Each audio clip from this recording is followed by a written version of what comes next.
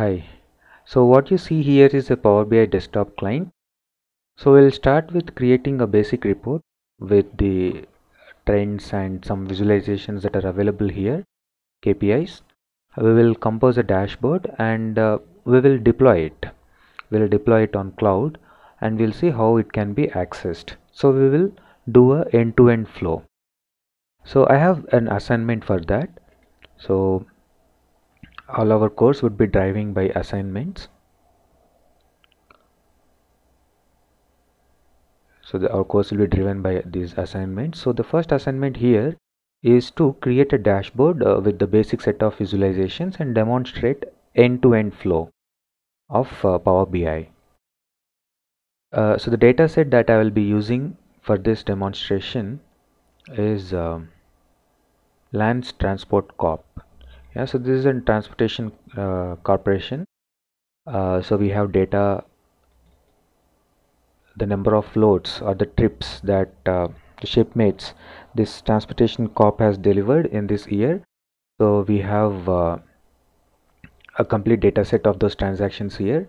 We have like trip id shipper who has uh, mailed this the category um, customer origin city destination city how many days are estimated for this delivery? Uh, when was this delivered? The delivery date? Total miles? How many loaded miles?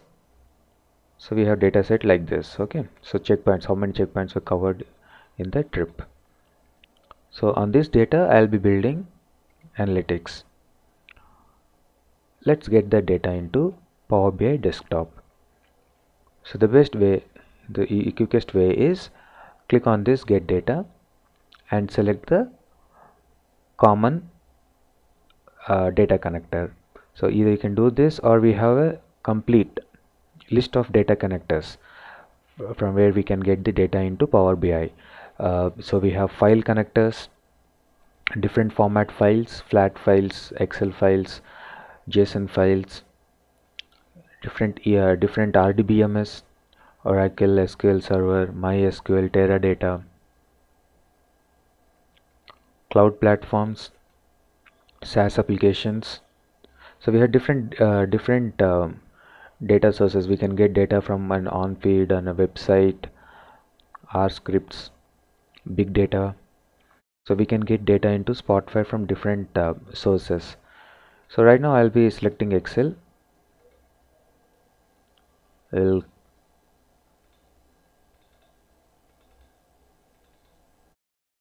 select this lands transportation corp data file.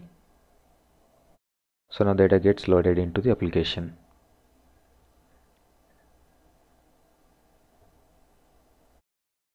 So this is a navigator. Here we will see the list of uh, sheets that are available in this excel file. So there's only one sheet. We can see a preview of the data inside that sheet. So what kind of data we have. So we get a clear preview here then we can select if that is the intended data. Load. So that data will be embedded into this Power BI desktop.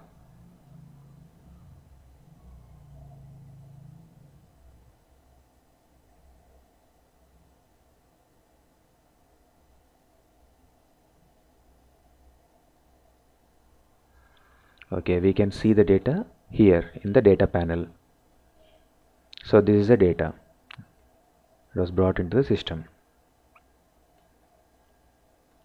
So I'll start with building analytics. So here to begin with what I'll do I will create a trend. So I'll quickly get a bar chart. And on this on this bar chart so you see all the properties of this uh, visualizations can be seen in this panel. So we have properties to set the data fields. We have properties to apply the color formattings. And we have analytical lines. So we'll cover all of this.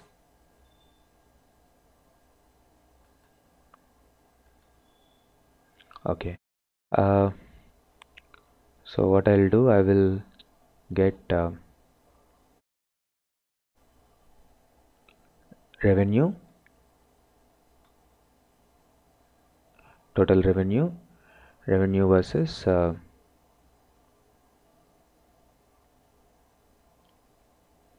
city the city from where I am getting the orders. So this I will put on x-axis so this is a revenue trend from various cities see how convenient it is to arrange a, a visualization on this canvas so you can easily quickly uh, very simply you can drag and drop the visualization anywhere on the open canvas. You can adjust the size according to the real estate consumption and do the settings here. So I have this uh, revenue revenue by origin city. Uh, we have different features here uh, like legend color saturations. We'll get there. Now we'll do some formatting. So here see everything is uh, option here. So you can have an access uh, selector. You can turn off a feature you can turn off turn on or turn off feature very conveniently. You can set data labels. You can do all formatting here. So we'll do what? I'll quickly go and change the title. So title. So this is the title that we see here. So we'll change the title revenue by?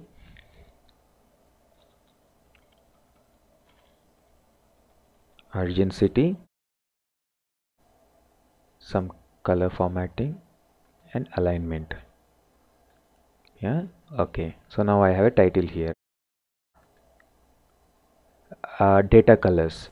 So I can um, change the default default color of this data bus leave it to the original data coloring scheme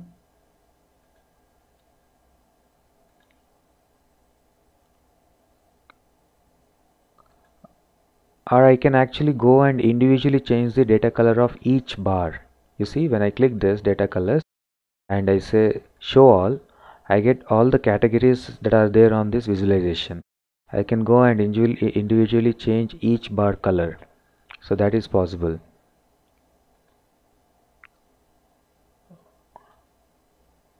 Advanced feature. So now we have this.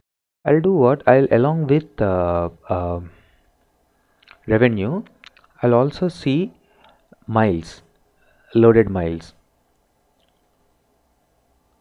how many miles were uh, shipped in this city so I have two values here so two values now this becomes what this becomes a stack bar stack bar with the same colors. Okay so stack bar now is sh showing same colors. Actually if you select you can see that particular one. You can change the color scheme here. Okay but now that's not how I want to see. I don't want to see it as a stacked bar. So this is a stacked bar okay? Uh, I'll clearly discuss the difference between a stacked bar and a side by side bar. So now I'll see this as a combination plot. A combination plot and loaded miles I'll take it as lines. Okay? As a line. So one one measure as a line and other measure as bars. This is a trend I got now. So go to axis and we'll do data labels plot area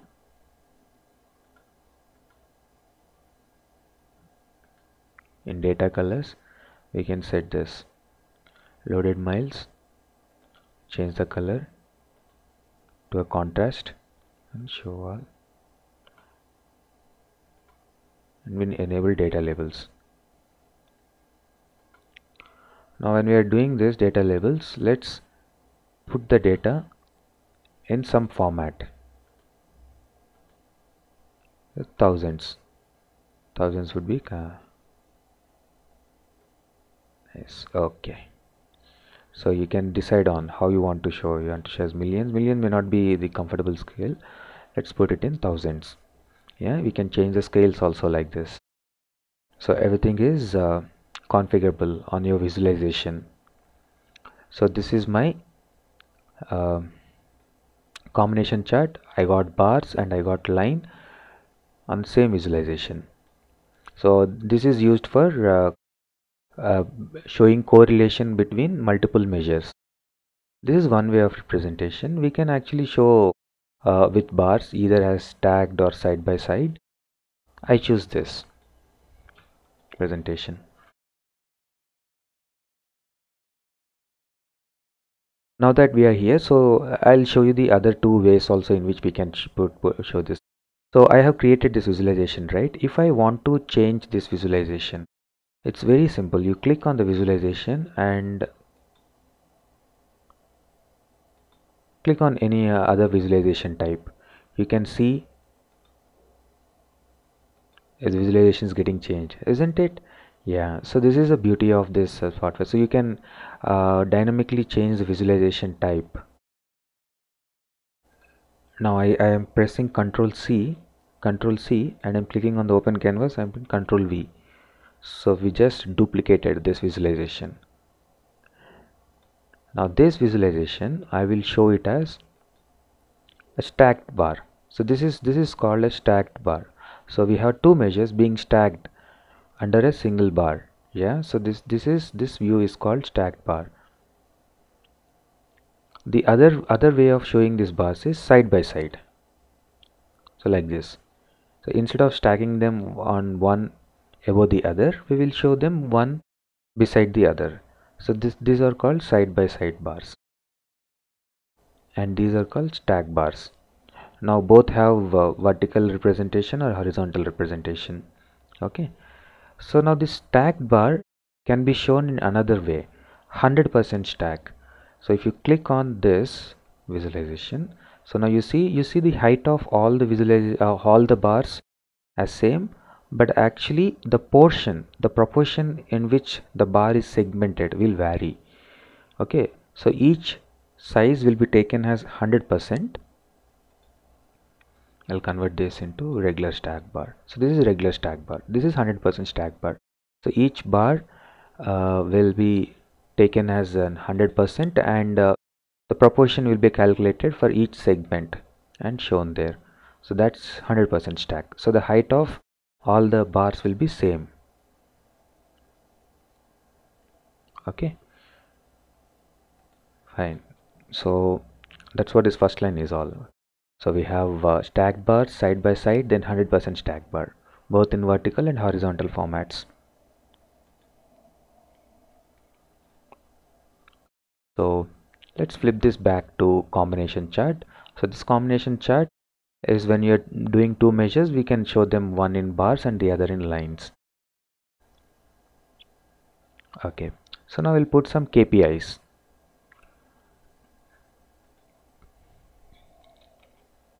click outside the visualization get a KPI so here uh, in this KPI what I'll do I'll put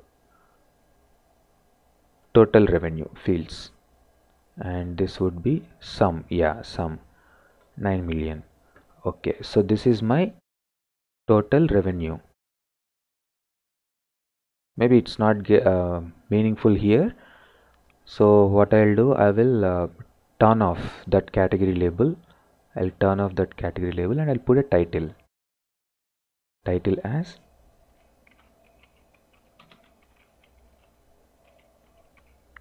total revenue. We'll do some colorings coloring here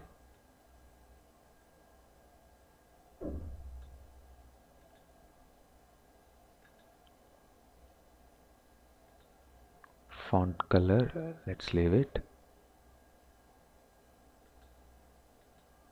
Background color.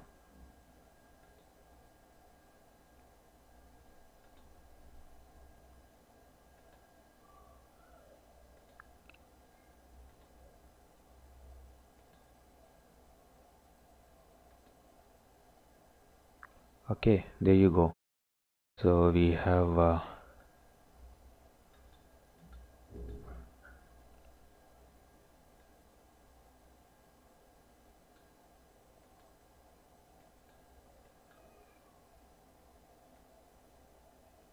yeah so this is a KPI this is total revenue.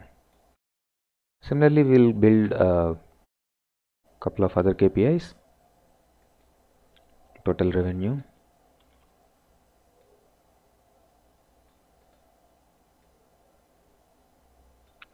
Uh, on this I'll get total miles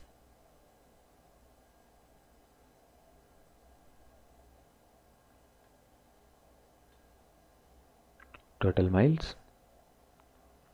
Will show total miles in thousands.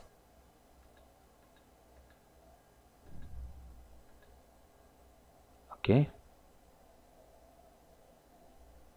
Then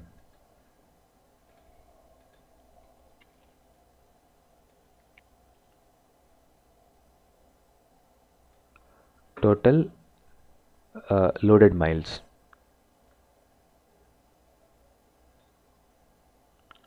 so loaded miles is like uh, uh, out of this total miles how many miles will it? So in total miles what happens when a truck moves from warehouse to the pickup point? So it is not essentially carrying anything right? So the, those are dead miles. Those are empty miles. And after the delivery again truck goes back to the warehouse. So again those are uh, uh, those are empty miles. So if you remove empty miles from total miles you will get loaded miles. Let's change the titles accordingly.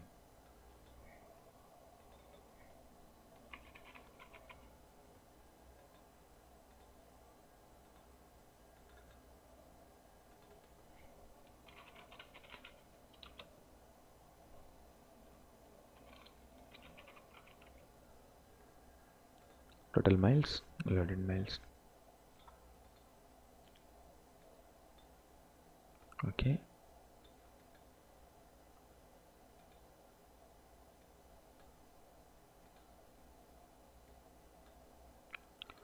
then the next thing I'll do is I'll put a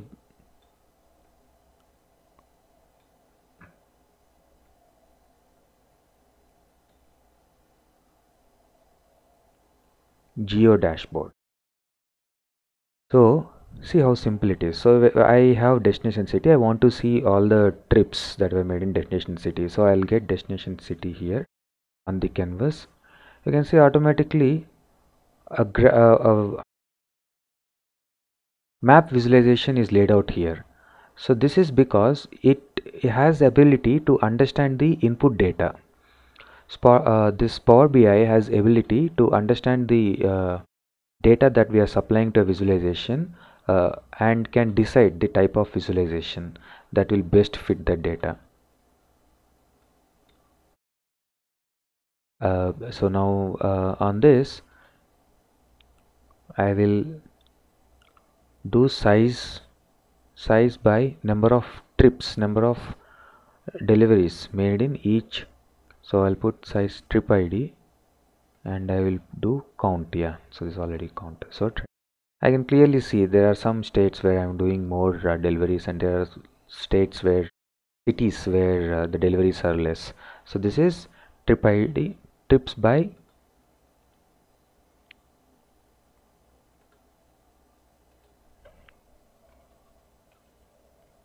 trips by destination city.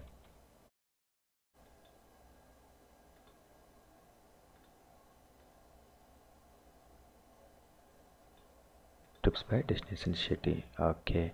So we have map visualization here. Now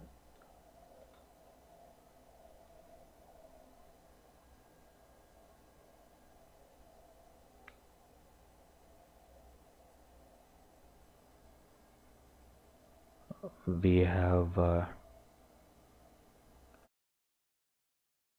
trip type here. So if you get a uh, descriptive column like trip type so it will by default give a table visualization. So this is a table visualization. So by trip type so we have different trips like domestic trips intercom uh, within a factory international trip. So if i see uh, the intensity of trips. So so this is so we the total 2000 trips. So here we have uh, count of trips per trip type.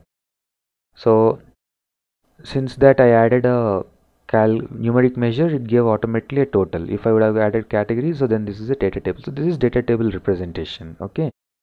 Uh, so now let's not see it this way. We will convert this into donut chart okay so now we have here a chart. Donut chart. So this is number of trips by trip type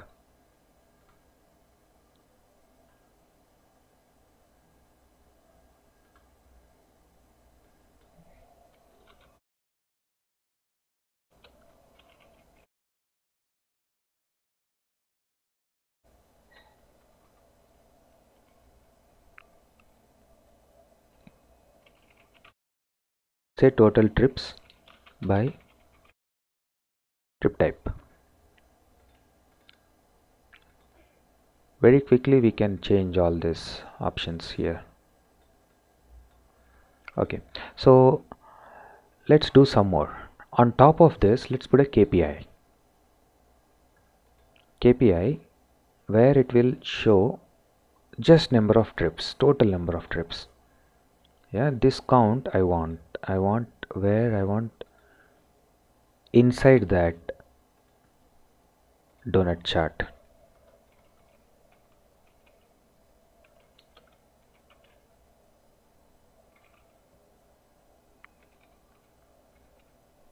Total trips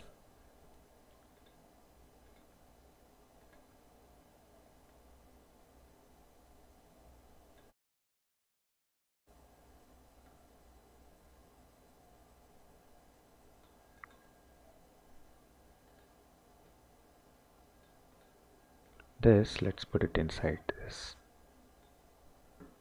Yeah, and uh, send it backwards.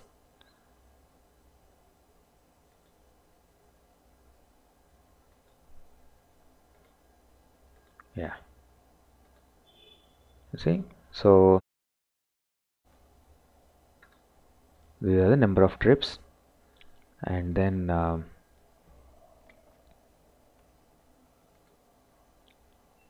there is a donut outside it uh, splitting number of trips by trip type. Okay.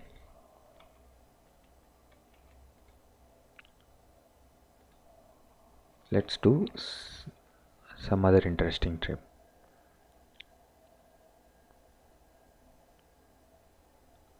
So we'll do what? We will do percentage of trips percentage of trips made in each each state yeah each state. Uh, this time we'll not see by map. We have already map for state. So we get uh,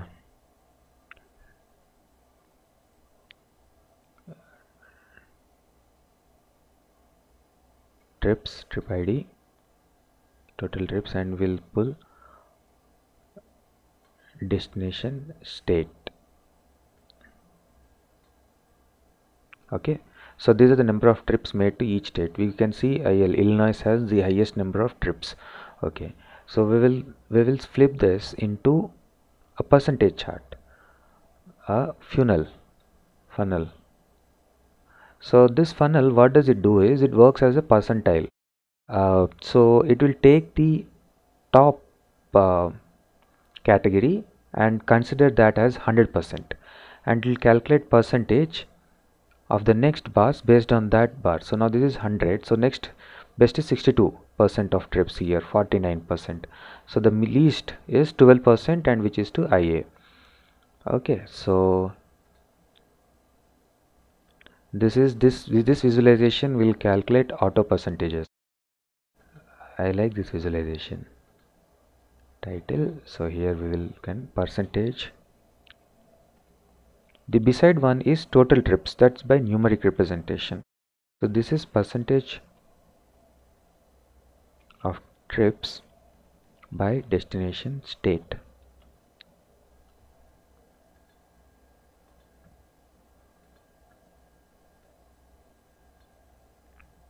okay. Uh, we can actually change the colors also. Uh, uh, as I showed you already so data colors. So there are now limited limited categories right? We can change colors very conveniently here. So we'll, we'll start with like some bar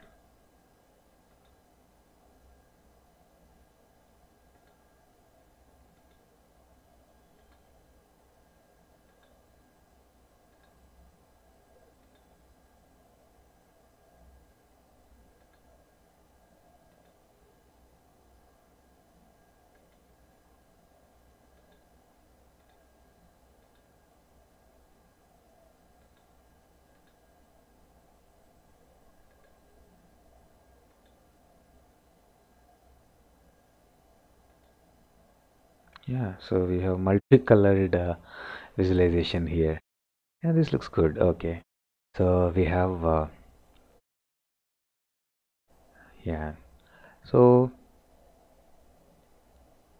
we're getting there. So uh, this is an assignment uh, that was uh, built for this. Uh, so we have KPIs for uh, total cost revenue. Then we have revenue versus miles by shipping state so we'll finish this by one more KPI so that is uh, gauge control. So in gauge control you can show two measures comparatively. Two aggregated measures comparatively. Uh, so what I will do here I will get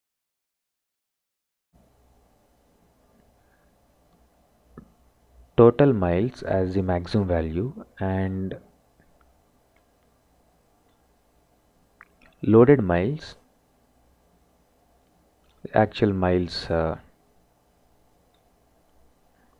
where we had uh, so these are, these are total miles and this is loaded miles. Let's convert them into uh, readable formats those numbers. So thousands and convert that also call out value also into thousands. So this is called call out value which you see inside and the uh, target. So the target is data label category.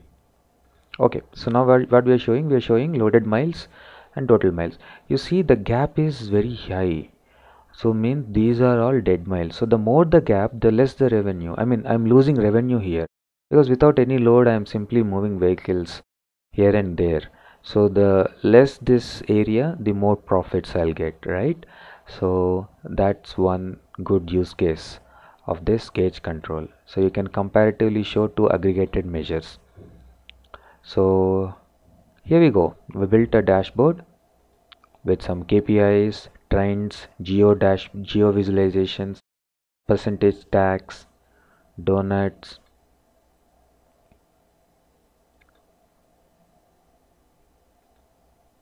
and uh,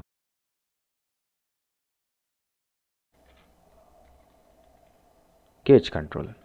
Okay. Yeah this is perfectly arranged.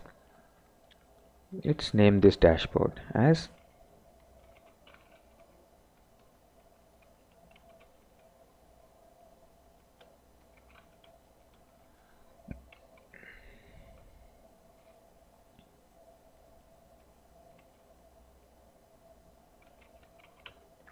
transport dashboard. Okay. Yeah.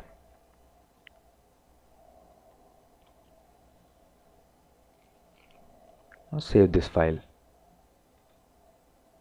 Save as lands transport corp. So that's the organization name so see when you save this file it will save as .pbix extension. So this is power bi file. So i can circulate this file now. So anybody with power bi power bi desktop so this is a free free client free tool available now. So anybody with this power uh, view client can read our file edit modify and publish it. Okay